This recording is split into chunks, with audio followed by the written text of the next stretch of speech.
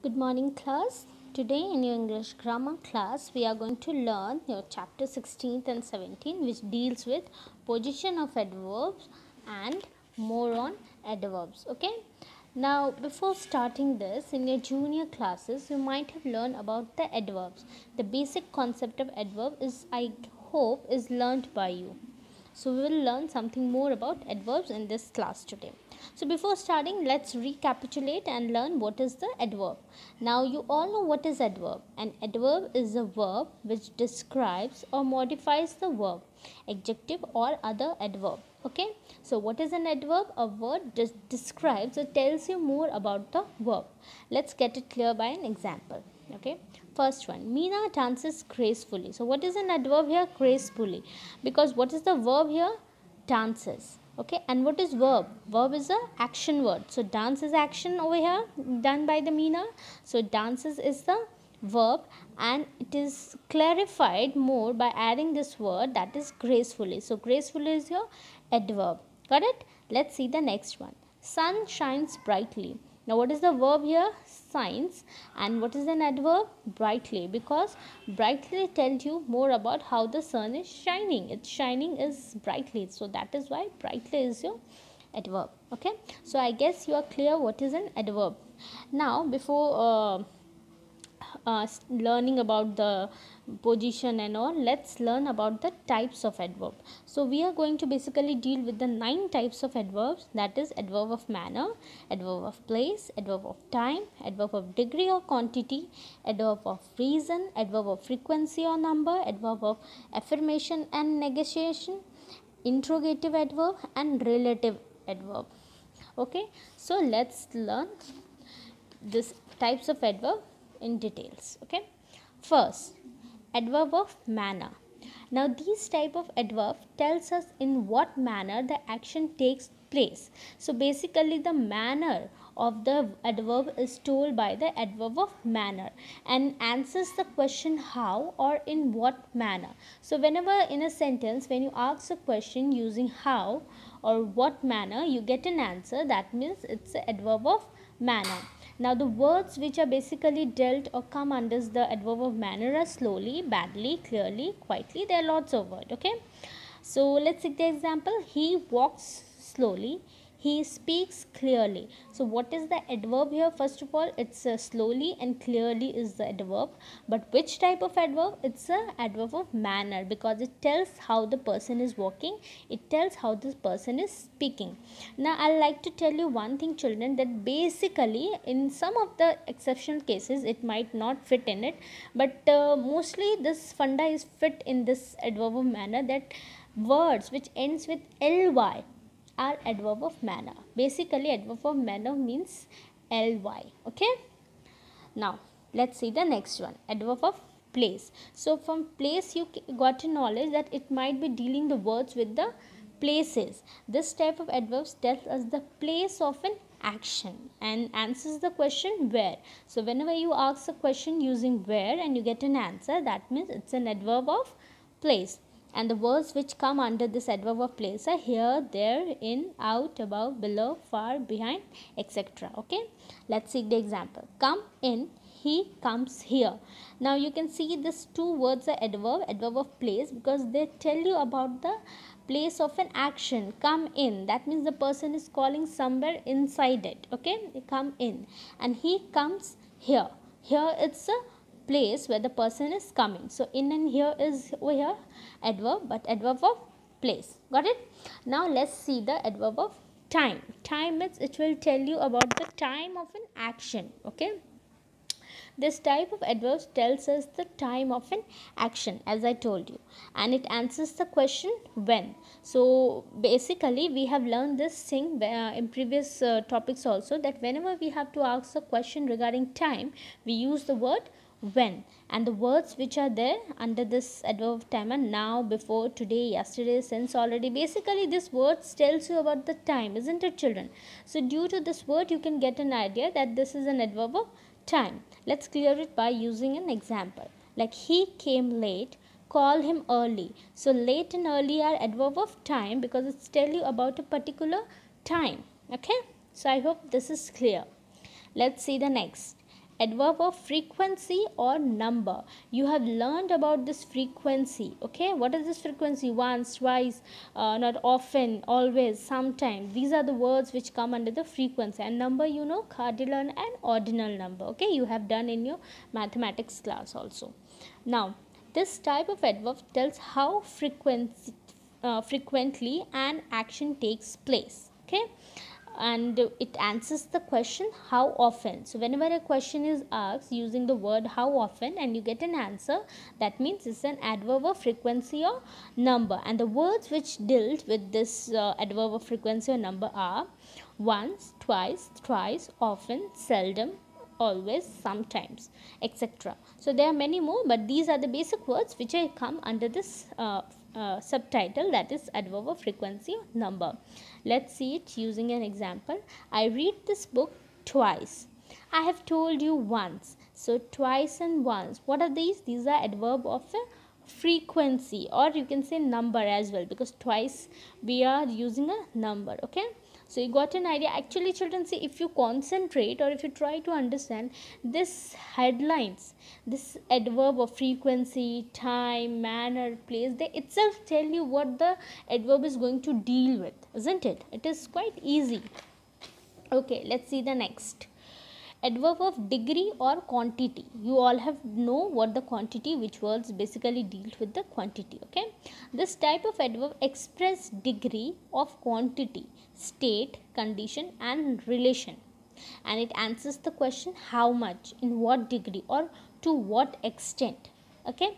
Quantity and degree it's don't get uh, confused or don't get a uh, bit uh, annoyed ki what is this thing. It's nothing new. It's already you have learned but in an advanced form it is. Like the words which deal with degree or quantity are very little quite enough too much almost so etc okay? And whenever you ask a question using how much some more little or in what degree or you ask a question using what extent? Much little almost. Then you get an answer. So you come to know that this is a word which are adverb of degree or quantity. Like he is too lazy. He is very clever. So this too and lazy are what? Adverb of degree or quantity. Basically these are ad, uh, adverb of degree and quantity. Got an idea isn't it? Too lazy. It's very lazy. So too lazy. Okay? Now let's see adverb of reason. Now reason obviously whenever you have to ask a reason you ask the question using why. And we get an answer then we come to know this is the adverb of reason. Now this type of adverb tells us the reason or the purpose of the exam uh, sorry purpose of the action okay? Then using the word why whenever we get an answer we come to know that is an adverb of reason. The words which deal under this are therefore, hence, etc. He therefore left school. He hence unable to go. Now, if I ask a question using why and I got an answer, so I'll come to know this is adverb of reason. Like if I ask why he left the school, therefore he left the school. See, why he is unable to go, hence he is unable to go or whenever I get use a question I get some as answer. But these words are there which tells us that these are adverb of reason okay? Now the seventh one next. Adverb of affirmation and negation okay? Now adverb of affirmation is an adverb which confers confirms the action and adverb of negation is an adverb which denies the action in sentence. Now see both are opposite to each other. Affirmation confirms and negation denies. So it is a positive and this is the negative. Negation negative. Easy now the words which deal under this are yes surely certainly undoubtedly definitely absolutely. And in negation no not never. So it is quite easy now both are there but you just have to keep in your mind that affirmation means positive that the words which will gives the confirmation regarding something and negation means negative which denies something. So you will get an answer okay like the words of affirmation yes surely you have seen this negation no there. Now let's see the example. Yes he went there. So this is adverb of affirmation. She will never go there. So never is your adverb of negation easy? Okay. Now interrogative adverb. Now this word interrogative itself gives you an idea that it has to deal with the question. So whenever adverbs are used to ask question that are the um, interrogative adverb okay? Sorry. Like example when where why how many how much which all these words when are they used in a sentence they are adverb of interrogative okay? Now let's see the example when will you go to office? Now when? We use when for asking? Time. So this is interrogative adverb of time. Where do you live? See where. So it is used to ask place. So interrogative adverb of place. Why are you behaving like this? Interrogative adverb of reason. See why? This word itself tell you which interrogative part it is. It is used for time place reason isn't it? There is one more how? How did you do this? Now this is manner. Uh, nicely properly. See ly manner got it? How many coins do you have? Number. So see how can be used same way but in a different question it uh, how can be used together but it varies according to the question. It, like how in this answer will be in manner and how in this answer will be in number. So these are the interrogative uh, adverb okay easy now the last number ninth that is relative adverb now what is relative adverb relative adverbs are used to join sentence or clauses kind of conjunction isn't it these adverbs are when where, why. These are used conjunction as conjunction. I missed over here. Sorry. Okay, let's see the example. I know the time when he will come. Now I know the time. It's a one sentence. He will come. It's another and these two sentences are joined using when. Now you got it idea why I used here adverb like when, where, why. Huh? Got it? That when is used for time but it is joining this two sentence. So it's a relative adverb the next one. I know the place. It's a one sentence. He was born. Now these two sentences join by using the word where. And where is the adverb of place? So which is this relative adverb which will deal with the place now let's say that. She knows. Now this is not a sentence. That's a, a, phrase okay which gives you some knowledge but not the complete knowledge. But it gives you some knowledge okay? And he got angry. Now he got angry itself is a phrase or sentence whatever it fits in both the ways. But these two phrases or sentence uh, this one phrase and one phrase or sentence is joined by using this word why. Why it is used to ask reason okay so this is relative adverbs where the answer will be on a reason form. So you got an uh, idea what is relative adverb? It's are the words which are used to join sentences. Basically they will be in an interrogative form. When, where, why. But they are joining it. They are not in a question mark. They are full stop but not in a in interrogative word but not in an interrogative form okay got it so these are the nine types of adverbs okay which are they? We have learned manner ly place. We will ask the question where. You will get an answer.